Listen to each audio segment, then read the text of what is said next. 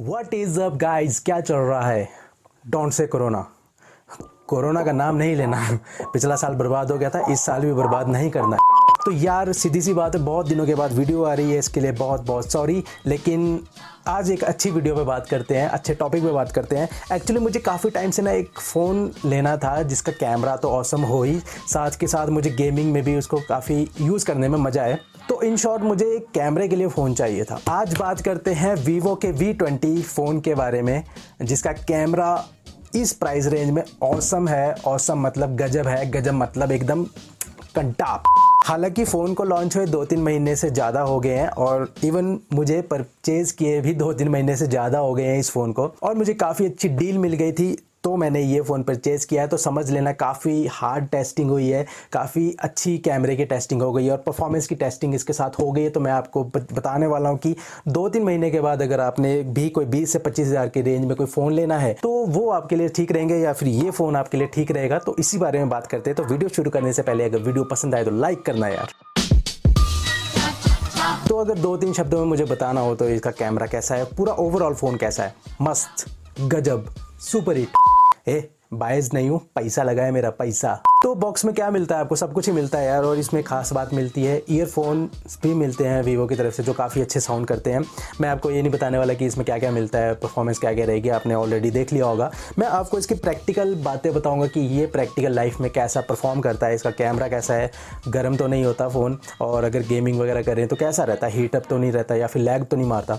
तो इसी बारे में बात करते हैं। सबसे पहले बात करते हैं फ़ोन दिखता कैसा है फ़ोन की लुक सबसे ज़्यादा इंपॉर्टेंट होती है कि जब आप फ़ोन को खरीदते हो तो लुक आपके माइंड में चली रहती है। तो इस फ़ोन की लुक यार आपको पहली बारी में पसंद आ जाएगी। इतना मैं आपको गारंटी के साथ बोल रहा हूँ। Seven point three M M की इसकी थिकनेस है और पूरा ग्लास बैक है। हाँ फ्रेम इसके प्लास्टिक है, बाकी पूरा ग्लास बैक है। लुक आपको पहली नज़र में इसकी पसंद आने वाली है। दो कलर्स इसमें मैं आपको मिलते हैं। एक ब्लैक और एक कुछ ऐसा सनसेट टाइप का कलर है। तो मेरे को ब्लैक थोड़ा प्रोफेशनल लगा था तो मैंने ब्लैक लिया। एमोलर स्क्रीन वगैरह है इन डिस्प्ले फिंगरप्रिंट स्कैनर है। 44 मेगापिक्सल का आई ऑटो फोकस कैमरा है, जो किसी भी प्राइस रेंज में, किसी भी फ़ोन में अभी तक नहीं मिल रहा, चाहे वो बात आपकी पचास हज़ार के फ़ोन की हो, चाहे साठ हज़ार के फ़ोन की हो, चाहे दस हज़ार दस हज़ार में तो कहाँ मिलेगा? ये इकलौता ऐसा फ़ोन है वीवो की तरफ़ से, या फिर किसी भी कंपनी की तरफ़ से, जिसमें आपको फ्रंट कैमरे में आई ऑटो फोकस मिलता है। तो ये काफ़ी अच्छी बात बन जाती है कैमरे के लिए। फोर्टी फोर मेगा पिक्सल यार बहुत होते हैं। फोर्टी एट मेगा पिक्सल किसी फ़ोन के प्राइमरी कैमरा होते हैं। फोर्टी फोर मेगा पिक्सल इस फ़ोन का फ्रंट कैमरा है। और काफ़ी लोगों के मन में डाउट होता है कि यार वीवो का फ़ोन है तो लैग मारता होगा, इसका UI अच्छा नहीं होगा, जैसे वन प्लस सैमसंग के UI है, या फिर रियलमी में ने भी अपना यूआई काफ़ी इंप्रूव कर दिया तो वीवो का यूआई कैसा है? अब मैं आपको सीधी सी बात बताऊँ प्रैक्टिकल बात बताऊँ। जब से मैंने फ़ोन यूज़ किया है हम्म, मतलब फ़ोन परचेज़ किया है तब से मुझे इसके चार पाँच अपडेट मिल गए हैं। और इसमें आपको मिलता है Funtouch O S eleven जो बेस्ड है एंड्रॉयड इलेवन के लेटेस्ट एंड्रॉयड में। वीवो ने अपना ओ एस यू काफ़ी इम्प्रूव किया है इस फ़ोन से। बाकी पहले के जो फ़ोन आते थे वीवो के उनका यू आई इतना कुछ खास होता नहीं था लैगी होता था। लेकिन इस फ़ोन का यू आई बहुत अच्छा मिलता है आपको। और अभी तो वीवो ने एक अपना OS भी लॉन्च कर दिया ओरिजिन ओ जो चाइना में लॉन्च हुआ है। बाकी एकदम क्लीन हुआ है जैसे स्टॉक एंड्रॉयड होता है। जैसा वन प्लस का आपको मिलता है, वैसा तो नहीं है। लेकिन हाँ ठीक है, आपको ऐड वगैरह देखने को नहीं मिलती, जैसे एम आई वगैरह के फ़ोन में मिलती है। लेकिन ठीक है, आप यूज़ कर सकते हो बिना किसी दिक्कत के। हाँ बस मुझे वाईफाई कॉलिंग का सिस्टम समझ नहीं आया, क्योंकि वाईफाई कॉलिंग मैंने अब तक एक्टिवेट तो करी है, लेकिन मुझे यूज़ करनी नहीं आएगी, कैसे यूज़ करते हैं, इसमें भी ऑप्शन नहीं मिला। दिक्कत मुझे इस फ़ोन की ये लगे कि इसके स्पीकर्स यूट्यूब में काफ़ी लोगों ने बोला कि इसके स्पीकर्स ठीक नहीं है काफ़ी लो आउटपुट है उनकी। बाकी मैं आपको सीधी से बात बताऊँ कि मैं अपने फ़ोन को साइलेंट रखता हूँ। हमेशा रात रात हो, बस में हो, गाड़ी में हो, जहाँ मर्ज़ी मैं अपने फ़ोन को साइलेंट ही करता हूँ मैंने क्यों पकड़ा हाथ में? बाकी मुझे कुछ ऐसा इशू नहीं आया साउंड के आउटपुट में। मैं गाने सुनता हूँ वो भी ईयरफोन के थ्रू सुनता हूँ। कुछ वीडियो वगैरह अगर देखता हूँ तो वो भी मैं ईयरफोन के थ्रू देखता हूँ। मुझे कुछ साउंड में ऐसा कुछ दिक्कत है। हाँ वो बा, वो बात एग्री है कि इसकी आउटपुट थोड़ी कम है लेकिन चलता है मेरे लिए चल मेरे लिए चिल है। अब बात करते हैं मेन अब बात करते हैं मेन जिसके लिए मैंने फ़ोन को परचेज़ किया है कैमरा कैमरा इसका कैसा था? क्योंकि आपको पता है मैं यूट्यूब पे काम करता हूँ, कई बार मैं फोटोग्राफी भी करता हूँ, मैं वीडियोस वगैरह भी बनाता हूँ ब्लॉगिंग वगैरह भी करता हूँ तो मेरे को एक कैमरा के लिए फ़ोन चाहिए था. मैं काफ़ी सारे फ़ोन देख रहा था वन प्लस का नोट भी देख रहा था रियलमी का सेवन प्रो भी देख रहा था सिक्स प्रो भी देख रहा था सैमसंग का भी देख रहा था A fifty two M fifty one वगैरह. लेकिन जब मैंने ये फ़ोन यूज़ किया, मैंने एक दिन के लिए इसको यूज़ किया था लेने से पहले तो काफ़ी अच्छा मुझे लगा था. इसका UI मेरे को काफ़ी पसंद आया था. मैंने एक गेम भी इसमें खेली थी. फिर जब मैंने शिफ्ट किया किया इसको अपने कैमरा पे, जो मैंने इसमें इसमें से फ़ोटोज़ वगैरह कैप्चर करी। यार, मुझे काफ़ी ज़्यादा पसंद आया इसमें भर भर के फीचर्स दिए हुए स्लोमो वगैरह तो इसमें एक्स्ट्रा ऑर्डिनरी दिए हुए। टाइमलेस भी इसमें बहुत ज़्यादा दिए। इवन आधे तो मैंने अभी तक देखे भी नहीं है। जो काम के होते हैं मेन के होते हैं, मैंने वो सारे यूज़ किए हैं। बिल्कुल भी दिक्कत नहीं आने वाली आपको आपको एकदम फ्लैगशिप लेवल की परफॉर्मेंस देने वाला है। काफ़ी लोगों ने भी बोला था कि इस फ़ोन का कैमरा इस प्राइस रेंज में एट दी बेस्ट है। दी बेस्ट वन प्लस के नॉट को भी टक्कर दे रहा था इसका कैमरा जबकि ये थोड़ा सा सस्ता है।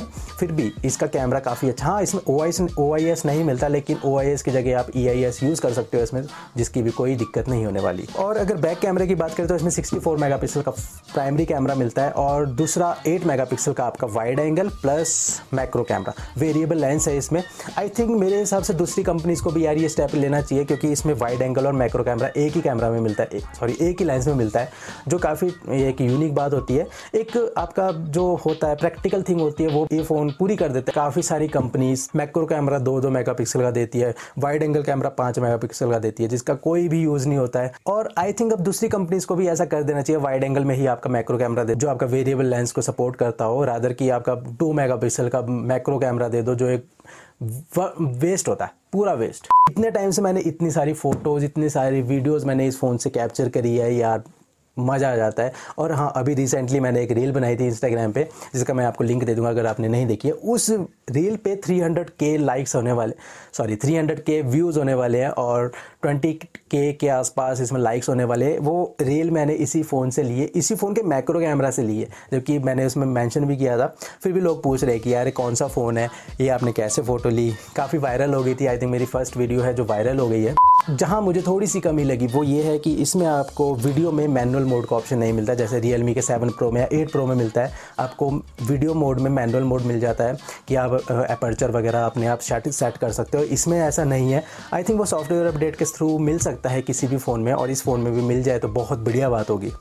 और अभी दो तीन दिन बाद वीवो का वी ट्वेंटी वन लॉन्च होने वाला है, इसका सक्सेसर जो फाइव जी होगा, जिसमें ओ आई एस मिलता है। तो वो और ये है दोनों फ़ोन लेकिन वो फाइव जी है और उसमें आपको ओ आई एस मिलेगा। बाकी चीज़ें सेम है, वो फ़ोन भी बहुत तगड़ा होने वाला है और ये फ़ोन भी बहुत तगड़ा है वीवो की तरफ़ से। और मैं वीवो को मानता हूँ कि यार वीवो ने काफ़ी अच्छा काम किया है, जब से V twenty V twenty pro और वी ट्वेंटी वन लॉन्च हुए और जब से उसकी एक्स फिफ्टी सीरीज़ लॉन्च हुई है ना, जिसमें आपका गिम्बल कैमरा जिम्बल कैमरा मिलता है, वहाँ से मैं वीवो को मानता हूँ। वीवो ने सच में यार इनोवेशन पर बहुत काम किया है। अगर मैं बात करूँ कि इसमें आपको 10 में से मैं कितने नंबर दूँगा इस फ़ोन को तो कैमरे के मामले में 10 में से 9 या फिर 9.5 भी दे सकता हूँ। सॉफ्टवेयर के मामले में मैं 10 में से 8 या 8.5 दूँगा। और स्क्रीन के मामले में टेन में से नाइन दूँगा क्योंकि इसकी स्क्रीन भी अच्छी है। और फ़ोटोज़ के सैंपल तो आपके सामने दिखा ही रहा हूँ। आप देख ही सकते हो कि आप को फ़ोटो के सैंपल इस फ़ोन से कैसे दिख सकते हैं। 44 megapixel with eye auto focus इसमें कैसा लगता है? कैसे कितना प्रैक्टिकल है और कितना प्रैक्टिकल नहीं है? और वीवो का फ़ोन है तो फ़िल्टर्स दुनिया भर भर के। यार, इतने ज़्यादा फ़िल्टर कहाँ से लेकर आते हैं वीवो की कंपनी में? समझ नहीं आता, लेकिन स्टिल अच्छे हैं, ठीक है एक्सेप्टेबल है। तो अब मैं प्रैक्टिकल चीज़ों के बारे में बात करता हूँ कि यार ये फ़ोन आपको लेना चाहिए कि नहीं लेना चाहिए? देखो यार रियल मी सेवन प्रो या शाओमी का Redmi note ten pro max आपको पता ही शाओमी में UI का बग्स आता रहता है दो तीन बाद अब यू में ही बग है उनका एक फ़ीचर है, उन्होंने फ़ीचर दे रखा है ये। रियल का भी फ़ोन ठीक है ओके okay है, लेकिन वो रिपीटेड ट्रैक पे चल रहा है कि आपका स्नैपड्रैगन सेवन ट्वेंटी जी ही दे ही जा रहे हैं बार बार प्लास्टिक बैग दे ही जा रहे हैं। फ़ोन स्लिम हो रहा है, ठीक है, चलो कोई बात नहीं। लेकिन रियलमी भी थोड़ा सा, और डब्बा रियलमी का डब्बा कहाँ है? रियलमी का डब्बा यार इतना, मुझे इतनी चिंदी हरकत लगी यार। रियलमी के डब्बे में सलमान खान को कौन देता है यार? जैसे जैसे वीवो का डब्बा देखो, एकदम प्रीमियम सा डब्बा लग रहा है। हाँ खोलने में भी अनबॉक्स करने में भी मज़ा सा आता है यार। अब रियलमी का डब्बा यहाँ पे आपको सलमान खान दिख रहा है। अब डिक्सी स्कॉट के डब्बे में भी आपको सलमान खान दिखता है। तो फ़र्क ही क्या रहा है यार, वो वाला डब्बा और ये वाला डब्बे में? तो कंपनी को यार इस बारे में थोड़ा सोचना चाहिए। अगर मैं रियलमी का फ़ोन ले भी लेता तो मेरे घर वाले बोलते, भाई, ये क्या है? सलमान खान का डब्बा ले आया। तो, तो अगर आप भी बीस से पच्चीस हज़ार के रेंज में देख रहे हो कोई फ़ोन कैमरे के लिए या फिर परफॉर्मेंस के लिए तो ये वाला फ़ोन आप देख सकते हो कोई दिक्कत नहीं होगी कोई इसमें लैग की इशू नहीं है अपडेट इसमें आपको मिलते रहते हैं। पहले लोग बोलते थे कि वीवो के फ़ोन में अपडेट नहीं मिलते लेकिन अब अपडेट भी इसमें आपको रेगुलर मिलने वाले हैं। महीने में एक दो बार इसमें अपडेट मिल जाती है तो मेरे हिसाब से कोई दिक्कत वाली बात नहीं है। तो आई थिंक यही था मैंने आई थिंक सारा कुछ कवर कर दिया है इस इस वीडियो में। अब नेक्स्ट वीडियो जो आएगी उसमें मैं आपको इस फ़ोन के कैमरे की कुछ प्रैक्टिकल चीज़ें बताऊँगा कि इस फ़ोन से आप कैसी कैसी तरह की फ़ोटोज़ ले सकते हो। जैसे मैंने दो तीन वीडियोज़ रील्स पे बनाई है इंस्टाग्राम पर अगर आपने नहीं देखी तो मैं लिंक डिस्क्रिप्शन में डाल दूँगा। आप जाके देख सकते हो। तो इतना था यार इस वाली वीडियो में। अगर आपको वीडियो पसंद आई है तो लाइक करना सब्सक्राइब करना इस चैनल को और आपसे नेक्स्ट वीडियो मिलते हैं। तब तक के लिए बाय बाय